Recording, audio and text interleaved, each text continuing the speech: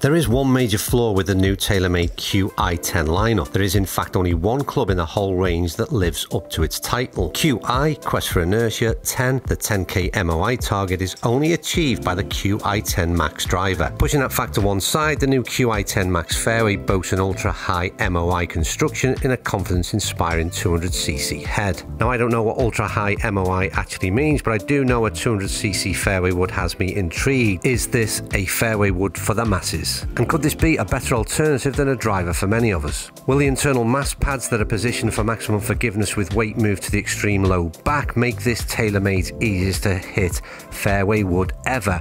Will the all new Infinity Crown provide a clean, uninterrupted view at address and optimized performance? And perhaps the enlarged face profile will inspire confidence and generate ball speed? Or should I just stop reading from TaylorMade's website and give this thing a whack? Yeah, I'll do exactly that. A few whacks on the course, a few on the sim, and I will tell you why the QI 10 Max is very interesting golf club, even though it should be called QI Max Fairway Wood. So in my head, this is what I want from a fairway wood. I want to play it off the tee. I want it to be long, so ball speed, good launch, and confidence at address. If I'm choosing to play three wood instead of driver from the tee, then what am I losing in distance? Off the fairway, I want high launch. I want to land soft, and I want to know my numbers, i.e., where does it fit in my bag? Now, one thing you lot can't complain about, well, no doubt some of you will, TaylorMade offer every golfer an option in the fairway wood lineup. As well as the QI10 Max, there is, of course, the fast low spin QI10 Tour or the standard QI10 with options from 3 through to 9 wood. There really is a fairway wood for everyone. Well, not everyone, you know who you are. Now, in the looks department, I've got to say, I think TaylorMade have nailed it with the QI10 lineup this year. The standout is the Tour model in the fairway woods. I mean, this is just so easy on the eye, and I love the sliding weight concept. So I've just finished collecting what is some really interesting data and none more so than the shot that I finished off there, which is pretty much perfect in terms of three wood capabilities in my hands with my kind of club head speed. It's hit every parameter on the button. The question is, what product achieved that kind of data? I'm going to start off by hitting the max product. What I'm expecting to see is a high launching ball that maybe uh, have a little bit too high of a spin on it.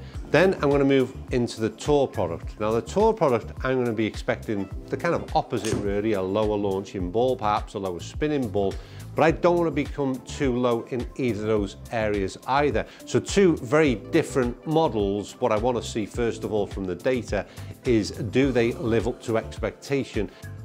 So first of all, the Tour model is set up in a neutral position in terms of the sliding weight option so we can push it further forward we can push it further back.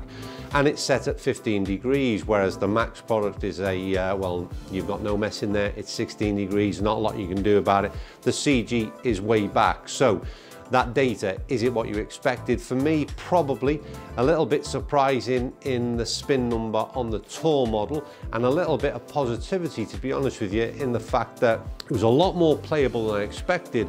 One of the big issues that I noted in last year's model, the first time we seen it in that stealth lineup, was the Tour model sliding weight gave a very much a harsher sound and feel to the face, or at least that's what I detected. If you look down at address, obviously they're very different head types. I think that 200cc is, you know, it borders on sort of mini driver, don't forget it's 300cc, so we're getting something in between that and a traditional sort of fairway wood, and I think that is going to be confidence inspiring for many, as is that 16 degrees. But the other point to mention is with the Tour model, I can make adjustments and I've already said that you know the idea of not having adjustability in any product fairway wood type uh, for this kind of budget I think it's a little bit poor. I think you should be able to adjust that max product as you should just uh, the standard as well but both of them are fixed hosel and the only adjustability is in the Tour lineup now for me, what I'm thinking is, well, hang on a minute, I can add a little bit of loft, probably increase spin. I can also shift that weight backwards and uh, create a higher launching ball as well. So straight away, now the Tour model has got apart from it being a little bit more compact, a little bit smaller, maybe less confidence inspiring for many, for me, I'm thinking I've got a lot more flexibility with that product in hand and probably can get my numbers tweaked to a position that I want them to be. And that's something that I can't necessarily do with the Max product. I'm just swayed towards that Tour model and I am going to make a few tweaks and see what happens. So that there is the 50 gram weight and it is substantial and you can certainly see why this would make a difference to uh, any performance in a club when you consider we've got sort of maybe 25, 28 grams in max driver heads at the very back, then to shift around this kind of weight is very significant.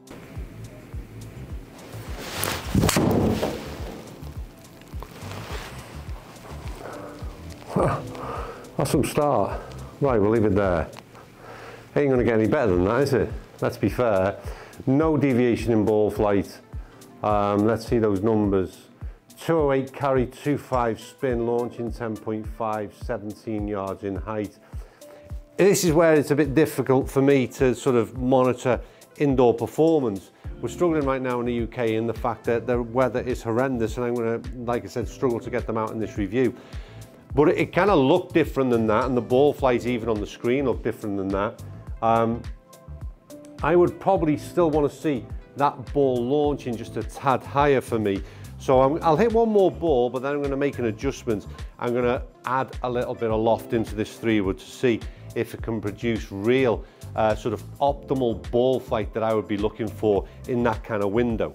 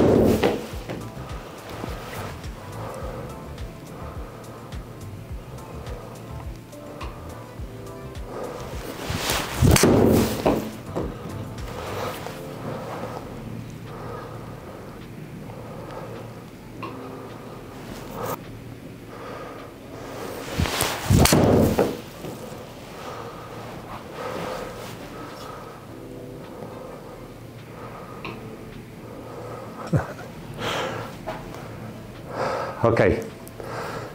The last few shots that you see me hit are just like, I mean, it's 218, it's just dropped off a tad. But that was me sort of full tilt. We're getting over 90 mile an hour with a uh, three wood shaft in hand. So that's creeping up to where sort of my driver shaft swing is because it's only sort of 95, 96. But you can really get someone out of this club and uh, you can really play, manipulate that club face a little bit as well. So from the sort of high shots landing into greens to the shots towards the end were the ones that you'd want to land on fairways and kick on from a par four. So the big deal for me with the tweaks that I made is just the versatility in this club that you're not going to see found in either of the other two models to be quite honest with you. But then if you're leaning towards the max it's probably not what you're looking for. So out of curiosity what I'm going to do is I'm going to switch right back to the other end and I'm going to go to this uh, max product. Just see what it does now. Um, sort of all out swings, what does it do distance wise and spin?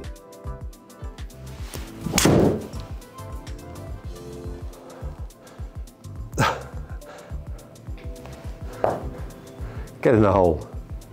Right, ignore that, that was off the bottom grooves. I think it's a very positive result, but uh, in terms of data, it's a 200 yard carry and a launch of 5.7 degrees. We ain't learning a lot from that. Right, let's try and get back to where we were with the swing. Down the right, withdraw.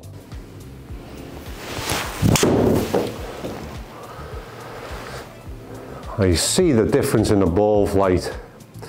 It's so high, that was an odd ball flight in terms of the uh, switching from right to left. 211 carry, that spin jumps up 3,500 revs, 12.8 peak. So it's just a totally different ball flight altogether. Um, I'm not saying, I mean, I've hit plenty of shots with this. It's very visible. This thing does things very differently.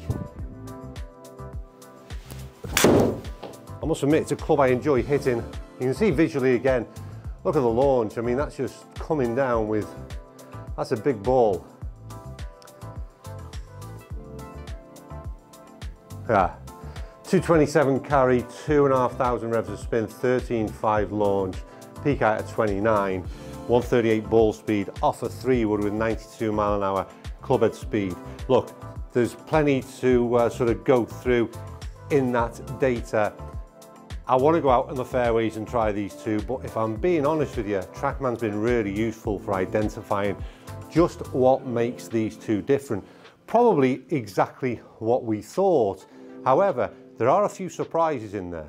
So what I'm looking at is a set of numbers that uh, I think what we'll do is we'll just throw some examples up on screen because I've hit a lot of golf balls and don't get me wrong, they're all not perfect by any means, but what I'm trying to get is uh, a fair judgment of a cross section. Like I said when I started this video, the numbers that you're seeing are, in the case of the QI10 Max Fairway Wood, it does what we thought it would do. Um, and by that I mean spins a little bit higher, launches a little bit higher. Carry distance was over that 200 yard mark, which is where I'd expected to be with my club head speed. So we did everything that uh, I would hope it should do. I've said for a while now that we're getting a little bit confused with what forgiveness is. And when this has sort of, uh, you know, a maximum ultra high MOI, um, I think what we've got to remember is what maybe you and I interpret as forgiveness. I always think of it as forgiving our bad shots, and to a degree that is, but like I said in previous videos, it's all about twisting and torque and you know, not necessarily forgiving our bad shots. So if you look at a cross section right here, that's what forgiveness looks like. It does nothing in terms of helping you be straighter, in my opinion, not greatly. I think forgiveness for me is how a ball reacts in off-centre hits. What does it do in terms of ball speed? Is that sweet spot getting bigger? But ultimately, my swing is what's making a ball go to extreme left or extreme right. And that's an issue that I've got to sort out personally. You then go into the QI 10 Tour, which first of all, I didn't really, I wouldn't say that that is less forgiving than the Max. Again, that's not something that I would recognise. But what I do recognise is a very different performing golf club, just as we expected it to be. But I think this club has come on far greater than what, let's be honest, the Max is replacing what the HD lineup was in the previous Stealth 2, and this is a continuation of what we've seen that titanium wood last year. Um, in this tour model. The tour model for me has, has gone on leaps and bounds. It feels a lot, lot better to me. That's the big deal. Um, I think the performance is, seems to be very consistent off the club face. I got numbers pretty much straight off the bat everywhere, every shot I hit. Maybe the direction wasn't exactly where I'd want it to be every time, but the performance was um, very consistent indeed. So super impressed with that. Um, so yeah, the question is, let me just close that for a minute. We, uh, the one thing I was looking at was the price tag. We're looking at £379 here for a three wood. That's the QI Tour and it's just gone bonkers. I can't deny the fact that that for a fairway wood is ridiculous. That's like driver money just a couple of years ago. Uh, the 309 for basically the standard QI10 fairway or the max. I've got to admit, for me personally, if I'm at that level of expenditure, I'm going in for the QI10 Tour. I'd rather spend the 70 quid and get that adjustability because, like I've already stated, it allowed me to make tweaks and changes that I couldn't do in the Max product. And ultimately, that's what led to the better ball flight, the better spin number, the better launch, and the better overall carry distance that I was looking to dial in. Will I end up with a three wood in the bag this year? I don't know, I'll be honest with you. I'm still not, it's the, it's the versatility bit, it's simple as that. Um, but I do like that QI10 Tour, I really do. And I think for me, the obvious thing was if I was playing on a links course in Scotland uh, on a bit of a breezy day, I'd put it in the bag. Um, I could, I'd want to hit fairways with it, low spinning, bounding along those fairways, superb, use it all day long. Um, but am I going to use it enough times to justify 380 quid for a club that I think still collects a few cobwebs along the way, but um, I've got to admit, I'm tempted. Anyway, that's me done. Let me know what you think of this. It was a bit different. It was a, slightly deeper dive to a degree into the, the numbers and the data. Some of you will appreciate that, some of you will prefer to see stuff outside and maybe a mix of the two is still the way to go. But that was nice to identify what clubs are doing, whether they are what they say they are, essentially. Right, thanks for watching. I'll, uh, I'll catch you all very soon and uh, as I say, let me know what you think.